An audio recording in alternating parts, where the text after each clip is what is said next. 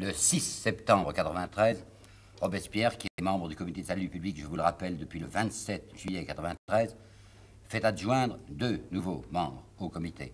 C'est Billot-Varenne et c'est Collot d'Herbois. Billot-Varenne, je vous ai dit un mot de lui l'autre jour. Je n'ai pas, pas pensé à vous dire qu'il avait une petite perruque rousse qui faisait rire les gens. Billot-Varenne, c'est un rectiligne. Je veux dire que c'est pas du tout un homme à la manière de Hébert, qui était un arriviste, un intrigant et un cupide. Billot, c'est un homme sûr, solide, évidemment violent. C'est quelqu'un qui est tout à fait favorable à la terreur. Il a à côté de lui Collot d'Herbois, qui n'est peut-être pas de la même noblesse. Collot d'Herbois, c'est un acteur, c'est un ancien acteur, comme Fabre d'Églantine, l'ami de, de Danton. Enfin, ils sont toujours ensemble parce qu'ils pensent de même. Robespierre a pensé qu'on ne pouvait prendre pas l'un sans l'autre. D'accord. Alors voilà constitué ce qu'on pourrait appeler le grand comité de salut public. Ce grand comité de salut public qui va être en fonction jusqu'au 9 Thermidor et qui, de loin, vu où nous sommes maintenant, semble unitaire. C'est pas vrai. Il y a beaucoup de rivalité à l'intérieur du comité de salut public. Il donne à la France l'impression d'être un bloc. Il n'est pas du tout un bloc. Il y a des fissures et nous le verrons assez. Mais enfin, en cette fin d'année 1793, à cause du prestige personnel de Robespierre, on va dire, on va dire ce qu'il compromettra. C'est le comité Robespierre. Ben, le comité Robespierre, je vous assure qu'il travaille. Et comme la question militaire est une question capitale, puisque de nouveau ça va très mal, puisqu'il y a les coalisés, puisqu'il y a la Vendée, puisqu'il y a encore du danger du côté de Toulon et de Marseille, qu'est-ce qu'on peut faire? Eh bien, Il y a Saint-Just qui va s'occuper spécialement des questions militaires. Saint-Just, il a des idées. Il y a aussi quelqu'un au comité de sûreté générale qui est à côté, qui s'occupe parfois de questions militaires. Il y a là Lebas, le petit Lebas, qui est un homme d'Arras, comme Robespierre. Et Robespierre aime bien, c'est lui qui l'a fait entrer au comité de sûreté générale. Alors, quand on se réunit entre comités et qu'on discute sur ce qu'on peut faire sur les questions militaires, Robespierre dit peu de choses, mais Saint-Just et Lebas parlent assez souvent, et Carnot, naturellement. Alors, qu'est-ce qu'ils disent? Eh bien, d'abord, c'est Robespierre qui a obtenu la cessation des fournitures à l'entreprise. Qu'est-ce que ça veut dire à l'entreprise? C'est-à-dire que quand le ministère de la Guerre avait besoin de fournitures militaires, il s'adressait à un soumissionnaire, comme d'Espagnac, qui fixait un chiffre et qui naturellement faisait des bénéfices monstrueux. Alors ça, c'est fini, c'est stoppé.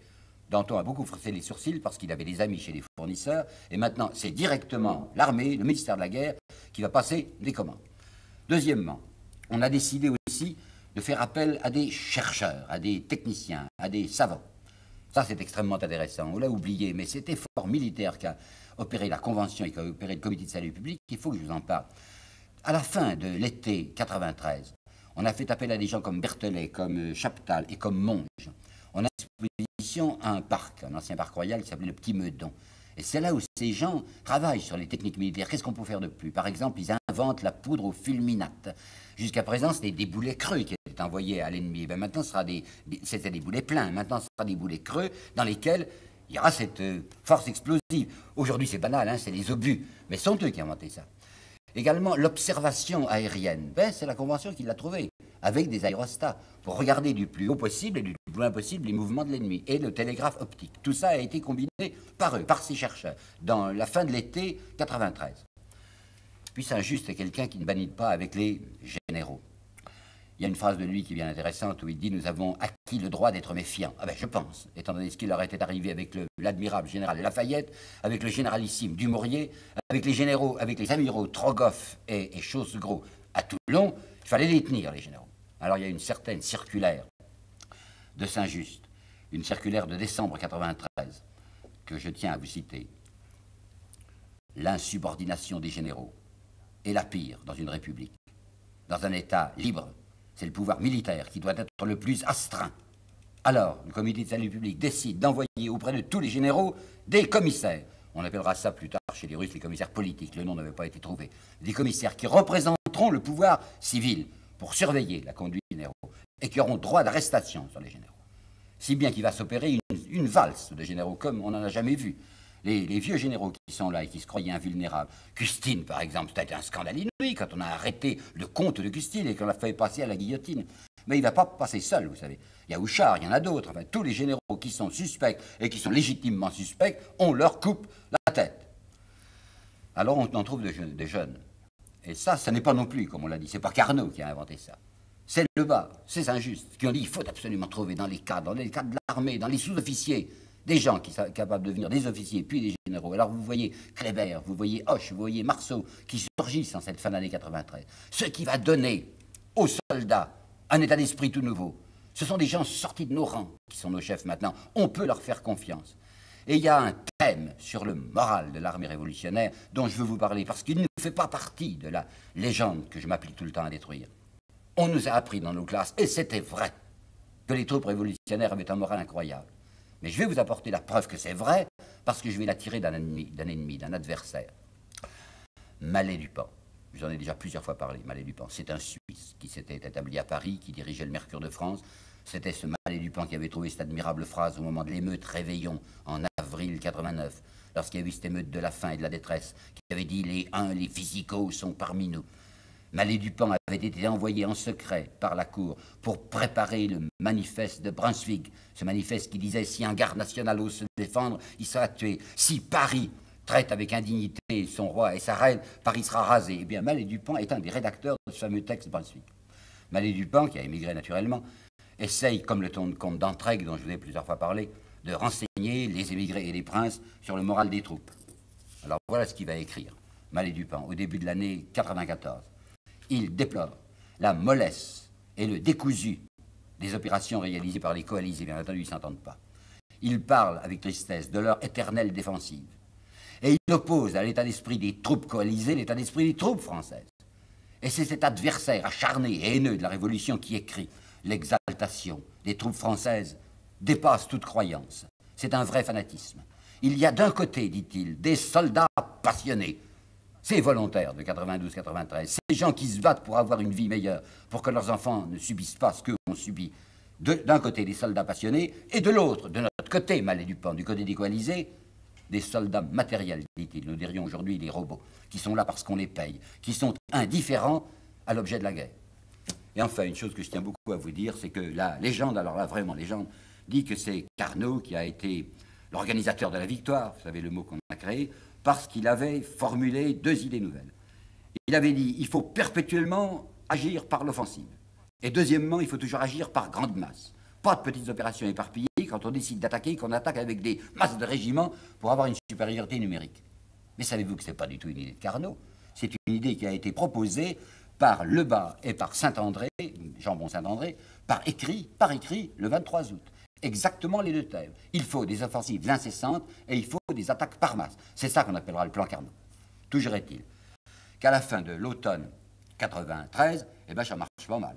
On voit en effet le 8 septembre les troupes françaises culbuter les étrangers à Honscott, près de Dunkerque. C'est Dunkerque qui a libéré les Anglais. Le 16 octobre, c'est la victoire de Vatigny. Vatigny, c'est devant Maubeuge. Cette fois, de même que Dunkerque vient d'être libéré, cette fois, c'est Maubeuge qui est libéré. Au sud, les Espagnols qui s'étaient avancés dans le Roussillon sont refoulés. Lyon est repris grâce à Couton. Couton, qui était député du Puy-de-Dôme, est passé dans le Puy-de-Dôme avant d'aller commander les troupes devant Lyon. Il a ramassé des tas de gens enthousiastes dans le Puy-de-Dôme qui ont fait ce siège de Lyon qui tombe le 9 octobre.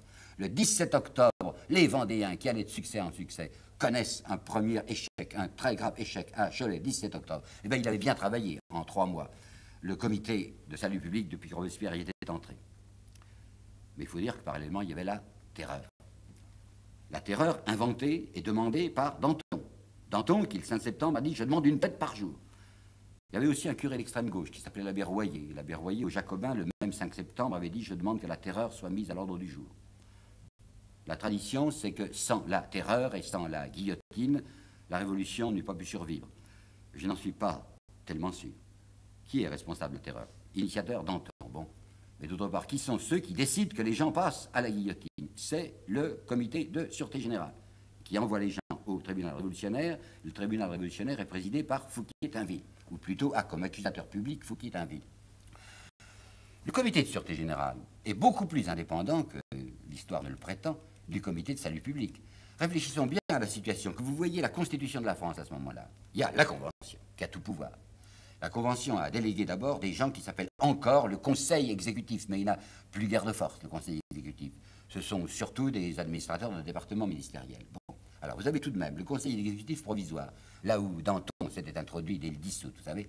Vous avez ce comité de salut public, qui est l'héritier de ce qui avait été autrefois, à partir du 1er janvier 1993, le comité de défense générale, le comité de salut public. À côté du comité de salut public, qui lui s'occupe de politique et de guerre, vous avez le comité de sûreté générale. Comité de sûreté générale, Danton l'avait peuplé de ses créatures, avec des forbans, enfin des gens impossibles. Il y avait là un ancien capucin, un moine libidineux qui avait naturellement quitté le froc et qui s'était plusieurs fois pseudo-marié, mais qui avait fini par se marier avec une Autrichienne. Elle s'appelait Schoenfeld, mais elle avait changé de nom. Enfin, c'était ses frères qui avaient changé de nom. Ils s'appelaient maintenant les banquiers Frey. Frey parce que ça fait libre. C'était des Autrichiens qui avaient autrefois gagné un argent fou en faisant des fournitures militaires pour Joseph II, qui avaient établi une banque à Paris. Ils avaient une fille qui était pas mal. Alors Chabot avait épousé la fille Frey. Vous aviez Bazir. Bazir, c'était un bourgeois dijonnais qui s'occupait surtout de concussion en fin d'affaires. Vous aviez ce pasteur dont je vous ai déjà une première fois parlé, qui ressemblait guère au pasteur Jambon Saint-André, le pasteur Julien de Toulouse, qui était un affairiste et un corrompu, qui allait également lui aussi de femme en femme. Alors Robespierre avait tenté, tenté une épuration du comité de sûreté générale, et le 13 septembre, c'est le 6 que Billot y est entré, le 13 septembre, Robespierre avait, dans la mesure où il le pouvait, hein, il n'est pas dictateur, avait essayé qu'au moins les gens les plus corrompus et les plus malfaisants de ce comité de sûreté générale en disparussent. Danton n'avait pas aimé ça puisque c'était sa clientèle, c'était ses amis. Et c'était à ce moment-là, 13 septembre, que Robespierre avait fait présenter la candidature de David, le dessinateur, David, le grand artiste David, qui du reste le plaquera, et de Lebas au comité de sûreté générale. Eh bien, c'est ce comité de sûreté générale sur lequel Robespierre n'a pas pouvoir. C'est un comité autonome qui dépend de la Convention. C'est ce comité de sûreté générale qui décide des guillotinades. Et je vous assure que, ça barde, si l'on peut dire, à la fin de l'année 93. Ah, je comprends très bien, oh, je comprends très bien qu'on y a envoyé un certain nombre de généraux, parce que c'était des personnages douteux. Je comprends très bien qu'on y a envoyé égalité. Vous savez, égalité du d'Orléans. On lui coupe la tête. Danton est le premier à assister à ça, ou du moins à ricaner en douce, parce que l'égalité ne sert plus de rien. C'est un des projets qu'il a eu, maintenant il a d'autres projets, donc égalité, on lui coupe la tête. Mais à côté de ça, pourquoi est-ce qu'il faut tuer Manon Roland? Manon Roland, Madame Roland, vous savez, son mari était arrivé à s'enfuir. Lui, il n'a pas été de ceux qui vont être guillotinés, je vais vous en parler. Ce malheureux homme qui avait 59 ans à ce moment-là s'est suicidé dans une forêt près de Caen. Il y a deux autres des Girondins qui n'ont pas été attrapés, c'est Pétion et c'est Buzeau. Ils se sont sauvés à travers la France, ils se sont cachés dans la région de Bordeaux, à Saint-Émilion. On a retrouvé leurs cadavres dévorés, dit-on, par des loups, mettons plutôt par des chiens errants. Ils s'étaient suicidés, probablement s'était-il empoisonné.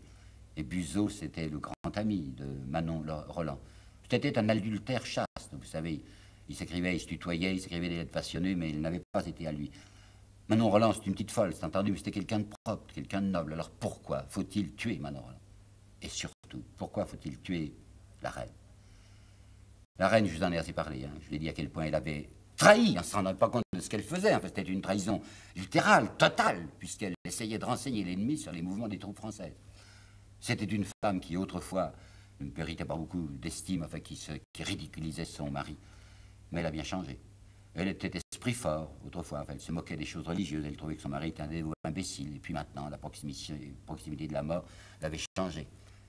Savez-vous qui a demandé que la reine passe en jugement Qui a demandé qu'elle soit envoyée devant le tribunal révolutionnaire? C'est Barrère. Barrère, cet affreux petit bonhomme, vous savez, qui sortait de la Constituante et qui maintenant, prenant le vent, se poussait par tous les moyens. Chateaubriand, dans les mémoires d'outre-tombe, a une phrase atroce sur Barrère, car il se piquait de, poésie. Il l'appelle le troubadour de la guillotine. Chateaubriand dit Barrère avait pris position dans le baquet de sang, sous l'échafaud, dans le baquet de sang. Et on entendait là qui croissait La mort, la mort. C'est Barrère qui a demandé que la reine passe en jugement. Pourquoi faire? Pourquoi la punir?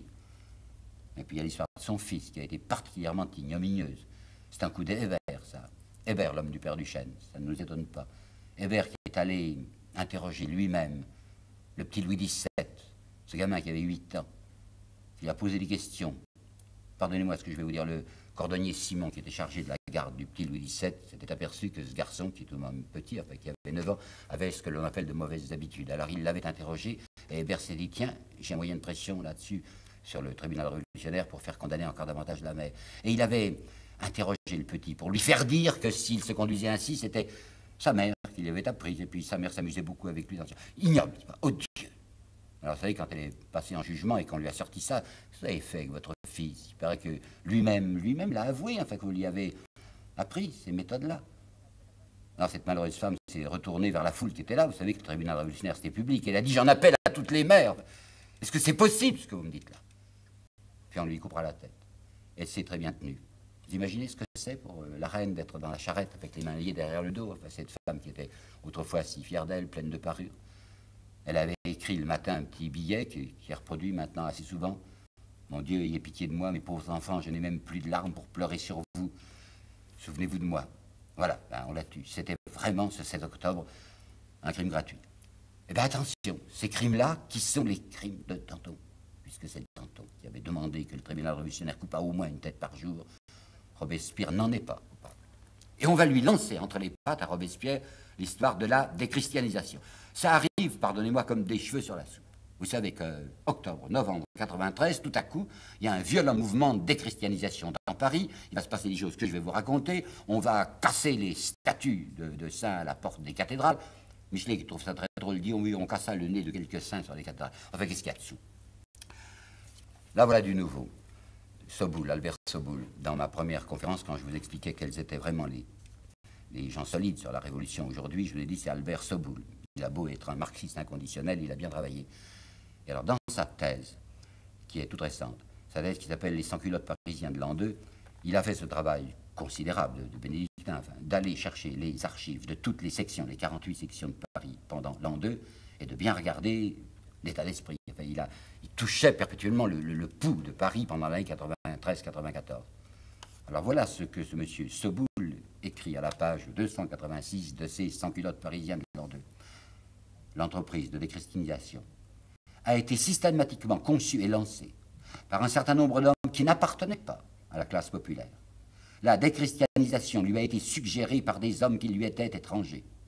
Un peu plus loin, on ne trouve aucun arrêté et même aucune délibération, ni d'assemblée générale de section, ni de société populaire, marquant une hostilité des sans-culottes à l'égard de l'exercice du culte en octobre et novembre 1993.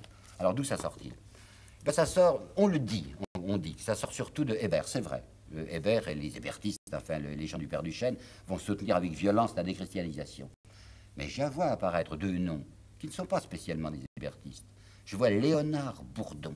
Léonard Bourdon, c'était un député du centre. Je vois Anacarsis Klotz.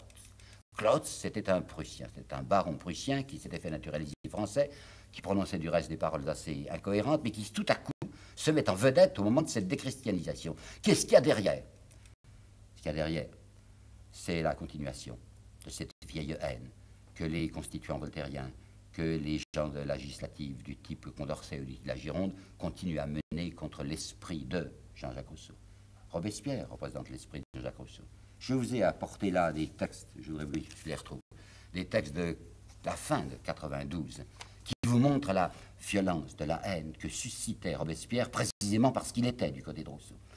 Brissot avait écrit le 14 décembre, il a sapé, qui il C'était un malheureux qui s'appelait Jacob Dupont, qui avait fait le 14 décembre à la législative un grand discours sur l'athéisme. Dupont, il tournera mal, ce pauvre type. Et là, je, souris en pensant à la phrase que Jaurès a écrite sur lui, saluant le grand athée Jacob Dupont. C'était un prêtre qui s'était déprétrisé et qui sera bientôt arrêté pour avoir tenté de violer une vieille femme aveugle. Et il sera, il sera interné à Charenton. Brissot avait été transporté de joie par les affirmations athées de Jacob Dupont, et il avait dit, il, il, Brissot, avait dit, il a sapé d'une main vigoureuse l'empire des prêtres que nos anarchistes veulent rétablir. C'est une phrase très importante. Nos anarchistes, c'est Robespierre et sa bande, paraît-il, veulent rétablir l'empire des prêtres.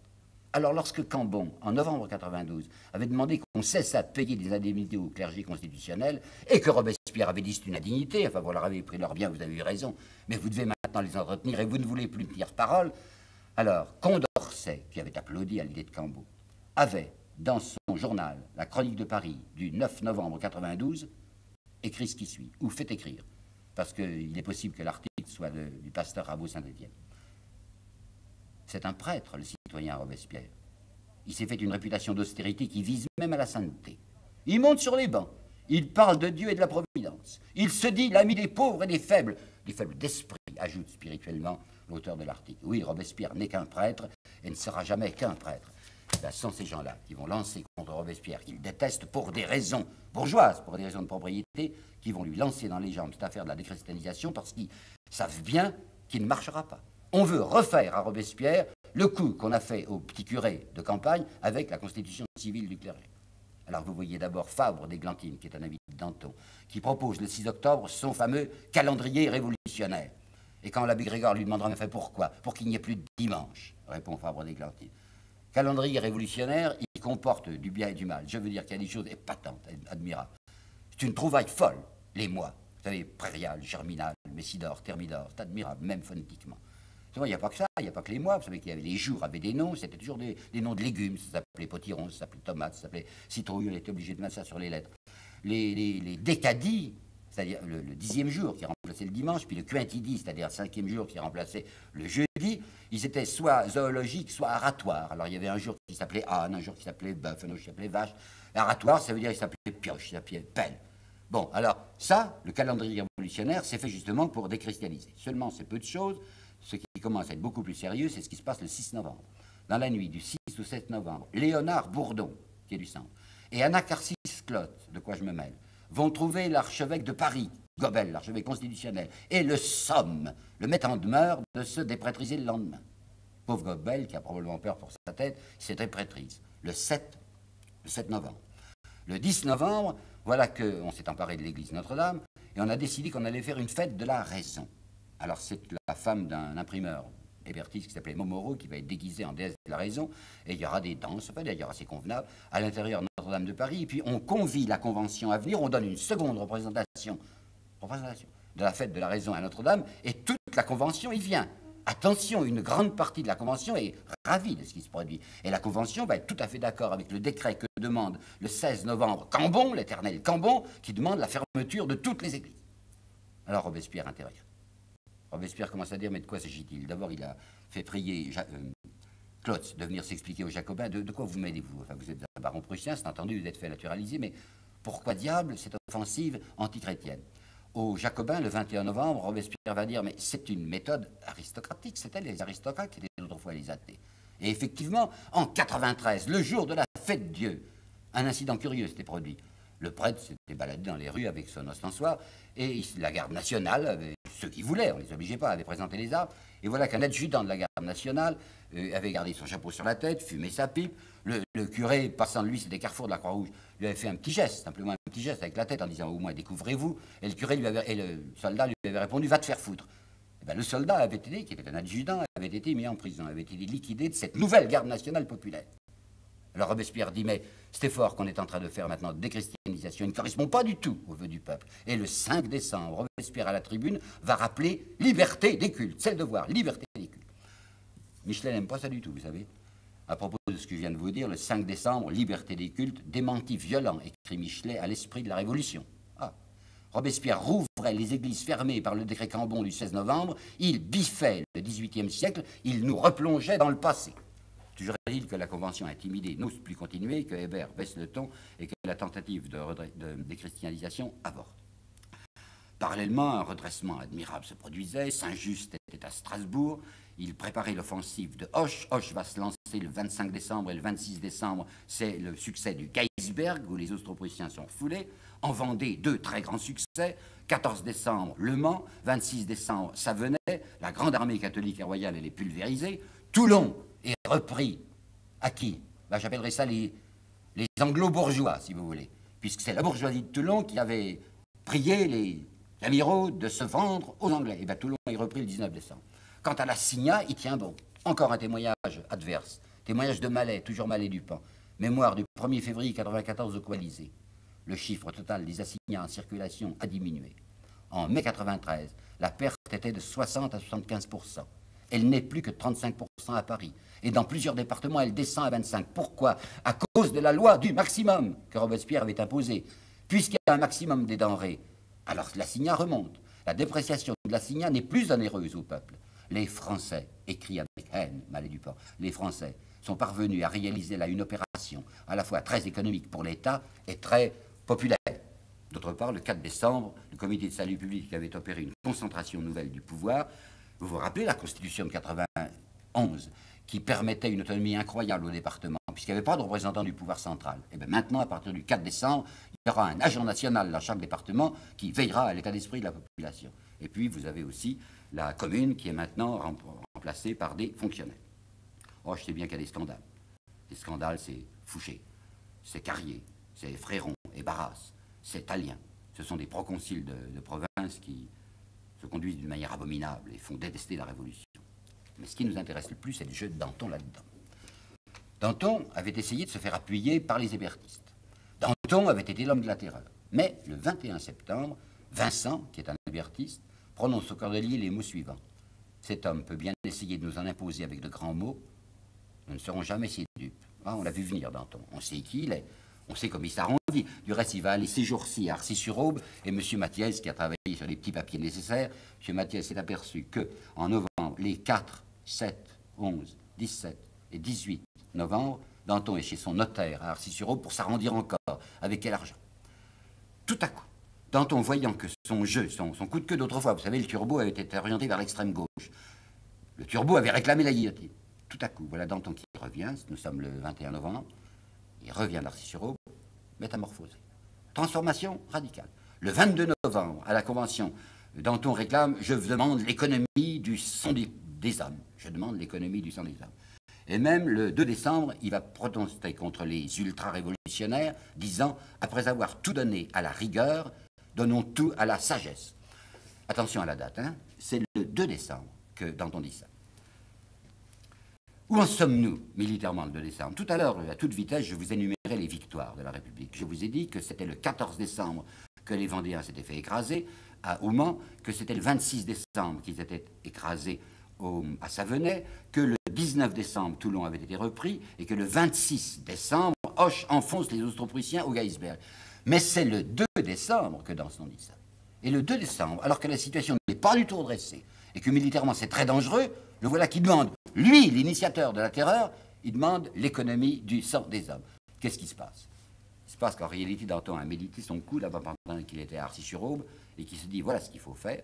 La guillotine commence à être excessive, il y a des tas de gens qui en ont assez, des gens qui ont peur, je m'en vais me présenter devant l'opinion publique comme celui qui préparera l'apaisement.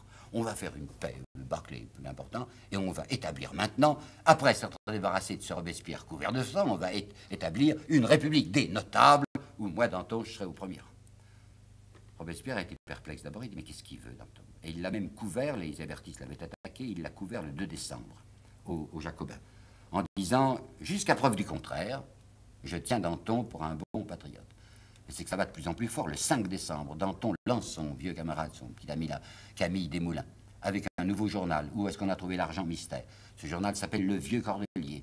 Et à partir du 5 décembre, périodiquement, tous les 7 ou 8 jours, dans Le Vieux Cordelier, vont paraître des articles disant il faut ouvrir les prisons, toutes les prisons, plus de suspects. C'est-à-dire libération donnée à toute la contre-révolution.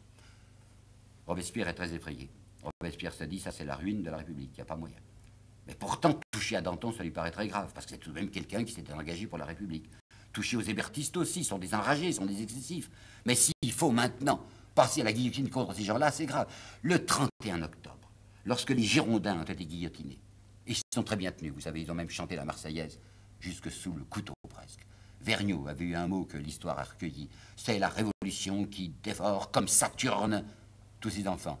Euh, je veux bien la reprendre, cette phrase. Mais en la changeant, ce n'est pas vrai que la révolution dévore ses enfants. La révolution dévore un par un ses ennemis. Et maintenant, les ennemis de la révolution, c'est Hébert d'un côté, l'enragé, et de l'autre côté, c'est Danton qui veut tout abandonner au moment où les situations est le plus dramatique. Billot, Varenne insistent jour par jour au comité de salut public pour l'arrestation de Danton. Et c'est Robespierre qui dit non, pas encore.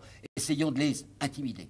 Alors, le 10 janvier, Robespierre fait arrêter Klotz, Anacarsis Klotz. C'était facile, c'était un, à peine français, avertissement aux hébertistes. Et le 14 décembre, Robespierre fait arrêter Fabre d'Églantine, qui était l'homme de main de Danton, avertissement qu'il donne à droite et à gauche, avertissement aux hébertistes, avertissement à Danton, parce qu'il voudrait tout faire avant d'en venir, en venir aux mesures extrêmes.